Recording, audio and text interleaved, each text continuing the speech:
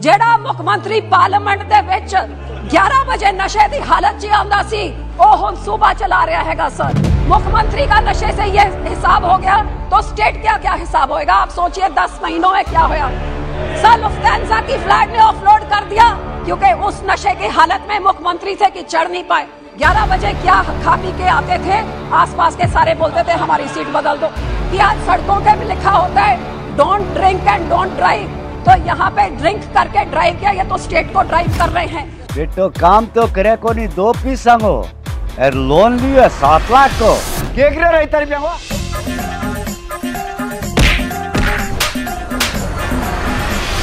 पूरी web series देखने के लिए डाउनलोड करें स्टेज ऐप ਅੱਜ ਦਿਲ ਦੁਖਦਾ ਹੈਗਾ ਤੇ ਅੱਜ ਡਰ ਵੀ ਲੱਗਦਾ ਹੈ ਕਿ ਜਿਸ ਤਰ੍ਹਾਂ ਆਪਾਂ ਚੱਲ ਰਿਹਾ ਸਾਡਾ ਪੰਜਾਬ ਕਿਹੜੇ ਪਾਸੇ ਜਾ ਰਿਹਾ ਹੈ 2015 ਚ ਇਹੋ ਜੀ ਚੀਜ਼ਾਂ ਪੰਜਾਬ 'ਚ ਹੋਈਆਂ ਜਿਹੜਾ ਕੋਈ ਪੰਜਾਬੀ ਨਾ ਬਰਦਾਸ਼ਤ ਕਰ ਸਕਦਾ ਸੀ ਤੇ ਨਾ ਕਰਨ ਬਾਰੇ ਕਦੇ ਸੋਚ ਸਕਦਾ ਸੀ। ਸਾ ਅੱਜ ਸਾਡੇ ਸੂਬੇ ਦਾ ਮੁੱਖ ਮੰਤਰੀ 6 ਮਹੀਨੇ 10 ਮਹੀਨੇ ਪਹਿਲੇ ਉੱਥੇ ਬੈਠਿਆ ਹੁੰਦਾ ਸੀਗਾ।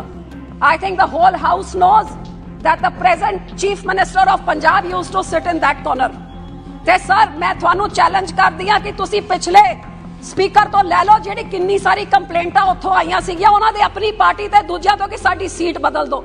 ਜਿਹੜਾ ਮੁੱਖ ਮੰਤਰੀ ਪਾਰਲੀਮੈਂਟ ਦੇ ਵਿੱਚ 11 ਵਜੇ ਨਸ਼ੇ ਦੀ ਹਾਲਤ 'ਚ ਆਉਂਦਾ ਸੀ ਉਹ ਹੁਣ ਸੂਬਾ ਚਲਾ ਰਿਹਾ ਹੈਗਾ ਸਰ ਸਰ ਤੁਸੀਂ ਭੁੱਲੇ ਨਹੀਂ ਹੋਗੇ ਕਿ ਆਈ ਜਦ ਪਹਿਲੀ ਵਾਰੀ ਬਣਿਆ ਸੀ ਸਰ ਸਰ ਜਦ ਪਹਿਲੀ ਵਾਰੀ ਇੱਥੇ ਆਇਆ ਸੀਗਾ ਤੁਹਾਨੂੰ ਬਿੱਟੂ ਜੀ ਤੁਹਾਨੂੰ ਕਿਉਂ ਮੁਰਚਾ ਲੱਗ ਰਹੀਆਂ ਨੇ ਮੈਨੂੰ ਪਤਾ ਹੈ ਤੁਹਾਡਾ ਬੇਲੀ ਸੀਗਾ ਲੇਕਿਨ ਜਿਹੜਾ ਕਰ ਰਿਹਾ ਉਹਨੂੰ ਤਾਂ ਤੁਸੀਂ भी नहीं निकाल सकते सब पार्लियामेंट की वीडियोग्राफी चार दिन पहले हमने जवानों को उनको नमन किया जिन्होंने अपनी शहादत देती इस पार्लियामेंट की सुरक्षा के लिए तो वो हमारे मुख्यमंत्री जो हैं उन्होंने एमपी बन के तो पूरे पार्लियामेंट की वीडियोग्राफी बाहर से लेके अंदर तक कराई ताकि किसी को जो नहीं पता लगे हमारे देश के उधर दुश्मन बैठे हो उनको अच्छी तरह से पता लग जाए कहाँ से अंदर जाते हैं कहाँ से बाहर जाते हैं। और इसलिए स्पीकर साहब ने एक पूरा सेशन उनको बाहर का रास्ता दिखाया था।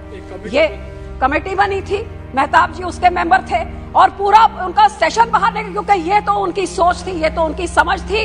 11 बजे क्या खा पी के आते थे आसपास के सारे बोलते थे हमारी सीट बदल दो।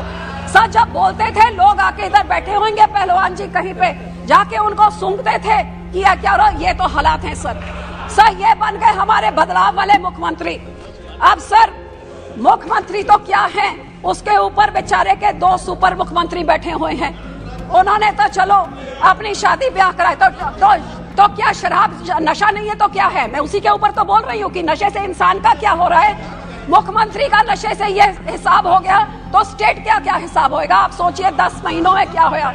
सर, दस महीनों में नशों से ये हालत हो गया है कि आज सड़कों के भी लिखा होता है don't drink and don't drive तो यहाँ पे ड्रिंक करके ड्राइव किया, ये तो स्टेट को ड्राइव कर रहे हैं। और केजरीवाल कहते हैं 2019 की इलेक्शन जीतने के लिए उन्होंने अपने माता के सिर की कसम खाई थी कि मैं आज के बाद शराब नहीं हाथ लगाऊँगा क्योंकि इलेक्शन जीतनी थी। और केजरीवाल कहते, बहुत बड़ी कुर्बानी करी है। भगवंत मान जी ने इतनी बड़ी कुर्बानी कोई नहीं कर सकता। सो सर वो तो कुर्बान हो गए, मुख्यमंत्री बन गए, और पिछले दस महीनों में हमारे पंजाब का क्या हाल हुआ सर सा एक नेशनल शेम से मैं शुरू करना चाहूँगी, क्योंकि कुछ ही महीने पहले, एक आधा महीना पहला होगा कि बाहर गए जर्मनी में हमारे पंजाब के बारे में चर्चा करने के लिए।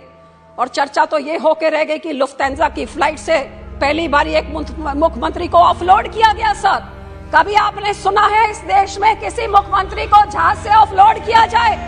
सर, लुफ्तांजा की फ़्लाइट ने ऑफलोड कर दिया, क्योंकि उस नशे की हालत में मुख्यमंत्री थे कि चढ़ नहीं पाए। अब सर, इधर के हमारे मंत्री जी ने कहा था, जो एविएशन मिनिस्टर है कि मैं जाँच करूँगा। तो जाँच करके बताऊँगा, लेकिन वो जाँच क्यों दबा दी? जरा ये भी वो बता दे। और सर, उस हालत में इतने अच्छे हालत में वो थे कि उन्होंने कहा बीएमडब्ल्यू हमारे पंजाब में एक बहुत बड़ी फैक्ट्री लगा रही है। तो सर, अगले दिन बीएमडब्ल्यू ने खंडन कर दिया, हम तो कोई फैक्ट्री नहीं लगा रहे हैं। तो सर, ये ऐसी नेशनल शेम इस हालात में तो आप सोचे मुख्यमंत्री के ऊपर क्या असर पड़ रहा है। तो सूबे राज्य का क्या हाल हो रहा होगा? जो ड्रग्स स्मगल किए जाते हैं, वो पूरे देश में नंबर वन पोजीशन पंजाब में है ड्रग्स फॉर स्मगलिंग तो आप ये देखिए कि ये ड्रग्स पूरे देश में जो सबसे ज़्यादा राज्य जो फैला रहा है ये एनडीपीएस के उनके अपने ये डेटा है।